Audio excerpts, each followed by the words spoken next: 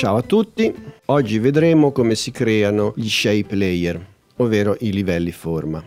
Innanzitutto incominciamo col creare una nuova composizione, composition, new composition, shape layer, lasciamo i soliti preset HD, 10 secondi, sfondo nero, ok. Mettiamo come sfondo anziché il nero, mettiamo la scacchiera bianca e grigia cliccando qui. Allora, gli strumenti per creare lo shape layer o il livello forma sono questi due qui nella parte alta di After Effects. Allora, se io clicco sul primo dei due strumenti e tengo premuto un attimo, compaiono le cinque forme predefinite che io posso creare. Oppure se invece attivo il pennino posso creare vertice per vertice io manualmente la forma che voglio. Adesso concentriamoci un attimo sulle forme predefinite. Innanzitutto proviamo con un rettangolo. Io posso creare delle forme in due modi diversi. Il primo è questo. Veniamo qui nel monitor della composizione, clicco dove voglio cominciare a creare il rettangolo, qui, e poi trascino in questo caso verso destra, lascio andare il mouse e ho creato un rettangolo, lì dove volevo crearlo. Lo seleziono la timeline, lo elimino, adesso lo creo col secondo metodo che è semplicemente fare un doppio clic sulla forma che è stata scelta qui. Quindi di nuovo seleziono sempre il rettangolo, poi ci clicco due volte qua, doppio clic, ho creato sempre un rettangolo ma questa volta la dimensione automatica, cioè viene grande esattamente quanto la composizione. Adesso ridisegno di nuovo con i due metodi il rettangolo per farvi capire qual è la differenza fondamentale fra i due. Allora, di nuovo elimino, prendo di nuovo lo strumento rettangolo, questa volta creo un rettangolo piccolo qui nella parte alta di sinistra. Vi faccio notare subito dove si trova l'anchor point guardate, sta qui al centro della composizione e non al centro del rettangolo che ho creato.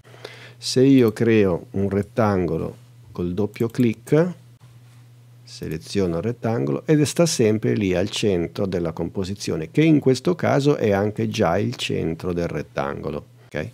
Quindi di nuovo cancello. Se io di nuovo creo rettangolo col primo metodo e poi voglio l'anchor point al centro del rettangolo ce lo devo mettere io perché lì non ci va automaticamente. Quindi posso farmi aiutare come al solito dalla palette move anchor point. Basta che io clicco qui al centro della palette e l'anchor point subito finisce lì. Questa è la differenza più importante fra i due metodi Oggi noi durante l'esplorazione di tutte le forme predefinite useremo prevalentemente il secondo metodo che è quello del doppio clic. Di nuovo doppio clic sul rettangolo e crea un rettangolo grande come la composizione. Ora vediamo come possiamo modificare l'aspetto di questo rettangolo. Lo si può fare naturalmente a mano prendendo i bordi, spostandoli, larghezza, altezza e addirittura se vi avvicinate all'angolo potete anche ruotare torno indietro, CTRL Z, CTRL Z, oppure si può, ed è quello che faremo prevalentemente oggi, agire direttamente sui parametri che gestiscono questa forma qua. E dove li troviamo? Qui nella timeline c'è una sezione che si chiama Contents, che hanno tutti gli shape layer, all'interno del quale c'è proprio la forma che ho creato, che in questo caso si chiama Rectangle 1. Se noi apriamo anche questa sezione, ci sono vari parametri, noi concentriamoci sul primo, apriamo in questo caso Rectangle Path e qua ci sono le tre proprietà che gestiscono questa forma rettangolo, che sono la dimensione, la size, ok, una specie di scala, c'è la position, la sua posizione all'interno dell'inquadratura e c'è la roundness, proviamo a aumentarla, che fa? La roundness gestisce la rotondità degli angoli di questo rettangolo, infatti è aumentata la rotondità. Può andare da un minimo di 0, angoli perfettamente retti, ad un massimo che in questo caso è questo, oltre non si può. Riportiamo a 0. Ok, questo è lo shape layer con forma rettangolare. Prima di proseguire, nel caso volessi un quadrato, come si fa? Semplicemente si va a lavorare sulla size in questo caso. Bisogna che l'altezza e la larghezza siano uguali, quindi basta spegnere la catena e mettere lo stesso valore sia in larghezza, facciamo 1000 per 1000. Okay, quindi si può creare un quadrato, poi si riattiva di nuovo la catena, a quel punto rimane quadrato. Se si volesse creare un quadrato, invece con il primo metodo, vi faccio vedere anche quello, elimino, prendo lo strumento rettangolo, clicco, tengo premuto il mouse e durante il disegno aggiungo lo shift. Quando ho terminato lascio andare il mouse prima e poi lo shift e alla fine ho direttamente un quadrato. Ok? Bene, eliminiamo di nuovo la forma, proviamo a passare alle altre forme predefinite. La seconda è una variazione della prima, un rettangolo con gli angoli arrotondati. In ogni caso, seleziono la seconda forma, doppio clic e ho creato un rettangolo che qui non si nota molto ma ha già gli angoli arrotondati. Se adesso io vado dentro nella timeline della sezione rectangle rectangle, path, le proprietà di prima ce le ho anche qua e la roundness è già messa a 20 di valore anziché 0. Quindi è questa l'unica differenza fra le due forme, che la seconda ha la proprietà roundness già maggiore di 0, tutto lì. Ok? Benissimo, eliminiamo anche questa forma, creiamone un'altra con la terza disposizione che è l'ellisse. Quindi se faccio doppio clic sulla forma ellisse, crea un'ellisse grande come la composizione. Benissimo. Vediamo le sue proprietà qui nella timeline. In questo caso il contenitore della forma si chiama ellipse, naturalmente, poi ellipse path contiene le sue due proprietà che sono anche qui size e vabbè position non c'è nient'altro. Roundness ovviamente non c'è perché essendo un'ellisse se volessi un cerchio il discorso è identico a quello del quadrato cioè posso arrivare a un cerchio facendo in modo che l'altezza e la larghezza abbiano lo stesso valore spegnendo la catena mettendo 1000 per 1000 vediamo come abbiamo fatto prima. E di nuovo ho un cerchio e se voglio mantenere il cerchio riaccendo la catena e ho il cerchio. Anche in questo caso elimino il livello. Se volessi disegnare un cerchio io a mano, prendo lo strumento ellisse e mentre sto disegnando l'ellisse aggiungo il tasto shift e di nuovo ho un cerchio fatto da me. Benissimo. Proseguiamo. Proviamo il poligono. Doppio clic sul poligono e in questo caso ho un pentagono. Andiamo a vedere le sue proprietà qui nella timeline, dentro Polystar, in questo caso si chiama così, c'è Polystar Path e qua ci sono più di tre proprietà questa volta. C'è la proprietà Points che gestisce il numero di lati, in questo caso 5, e se aumento aumentano i lati. Se diminuisco posso arrivare a un minimo di 3 e quindi posso creare rapidamente un triangolo. Bene, rimettiamo 5. La position, vabbè, come per le altre forme. La rotation, volendo, posso ruotare per cambiare la direzione delle punte. Outer radius, il raggio del cerchio che contiene il poligono. E l'outer roundness, se l'aumento i lati si piegano all'infuori, poi se diminuisco si piegano verso l'interno. Insomma, posso creare cose anche interessanti. Bene, elimino di nuovo.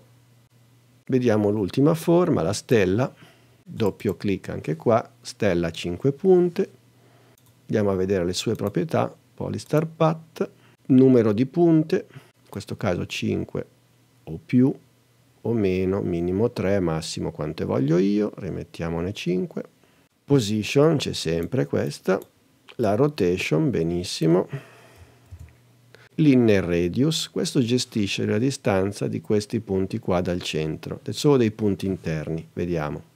Sto soltanto spostando i punti interni mentre le punte esterne della stella rimangono fermi. Per esempio così. Questa è una stella un po' più precisa. L'outer radius invece gestisce la posizione soltanto delle punte. Ok, posso allungare o accorciare la lunghezza delle punte. Bene, poi c'è l'inner roundness, la rotondità dei punti interni.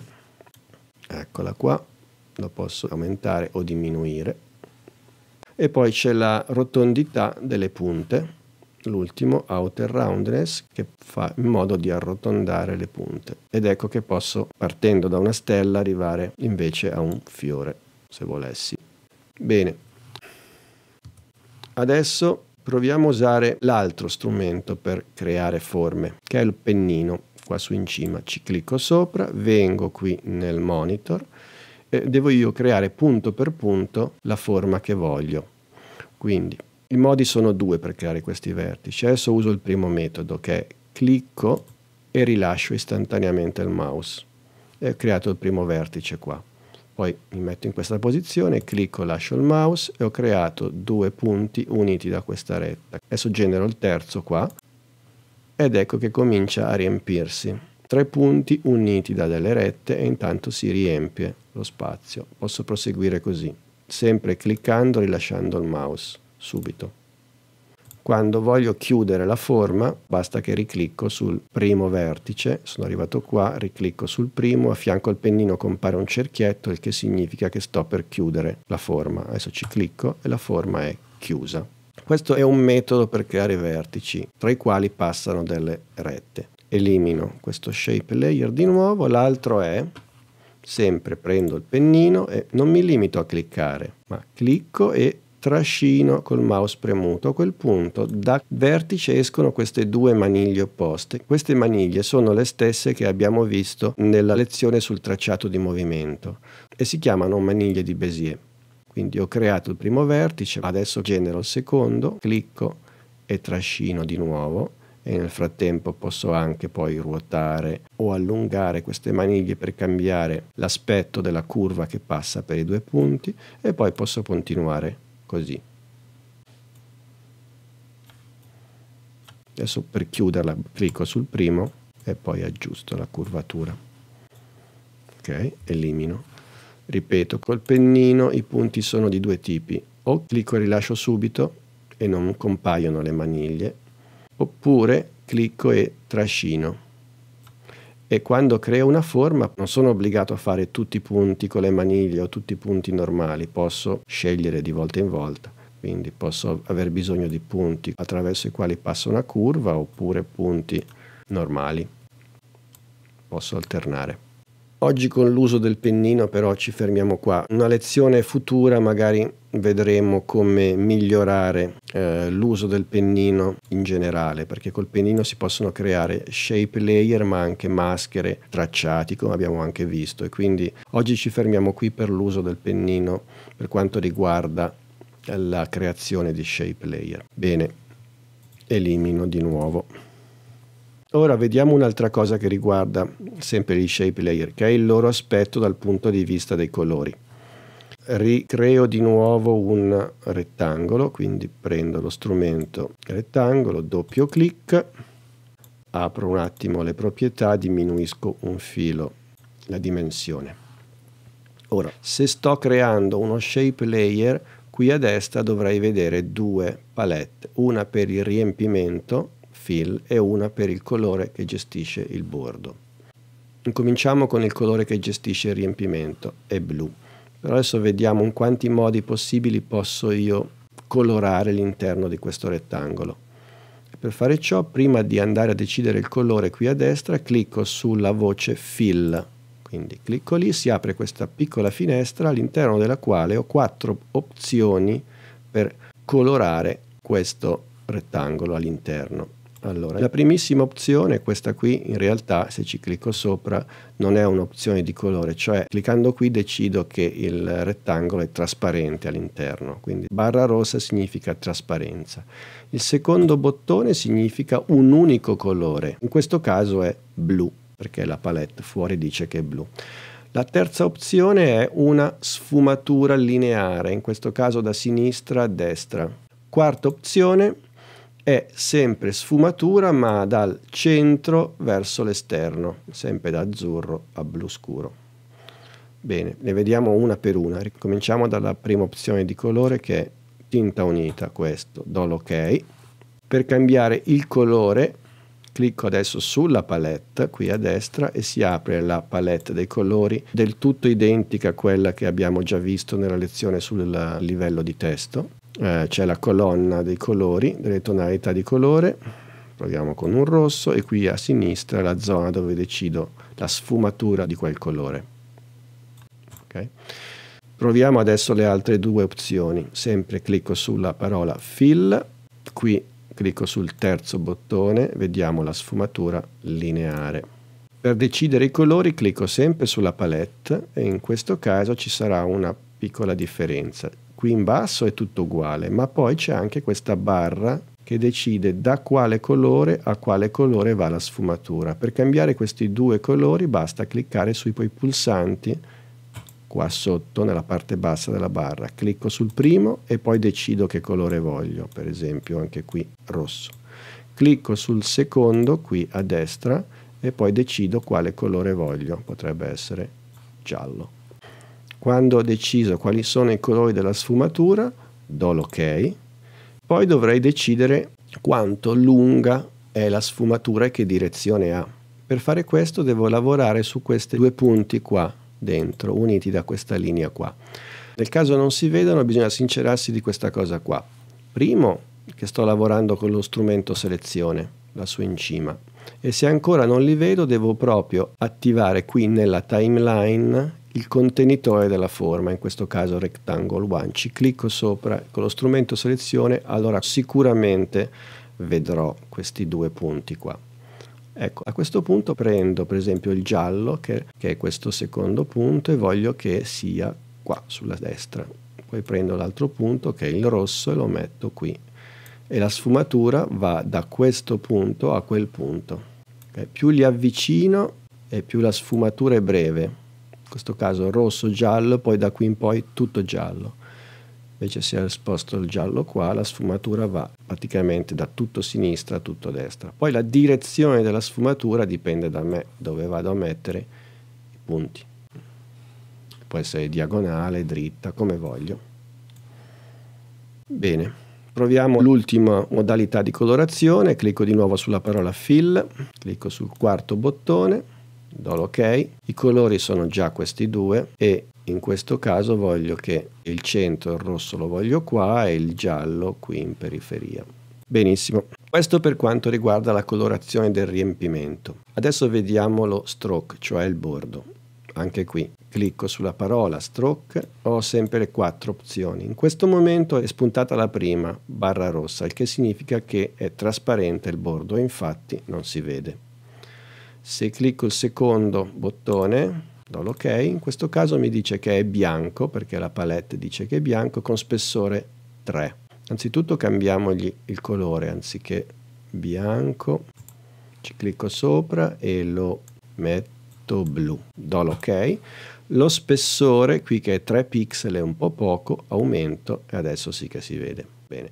Le altre due opzioni, se clicco sulla parola stroke, sono sempre lineare e radiale, però eh, sono veramente rari e poi sono molto strani applicati a un, a un bordo, qui non li prendiamo neanche in considerazione. Lasciamo la seconda. Bene. Rimettiamo come fill il tinta unita. Elimino di nuovo tutto. Allora, se io creo un rettangolo doppio clic e ho creato un rettangolo con le ultime impostazioni di colore che avevo dato. Bene. Ora, se io lascio attivo questo livello, cioè nella timeline è ancora selezionato e quindi attivo, e proseguo a creare delle forme, in questo caso adesso voglio creare un'ellisse.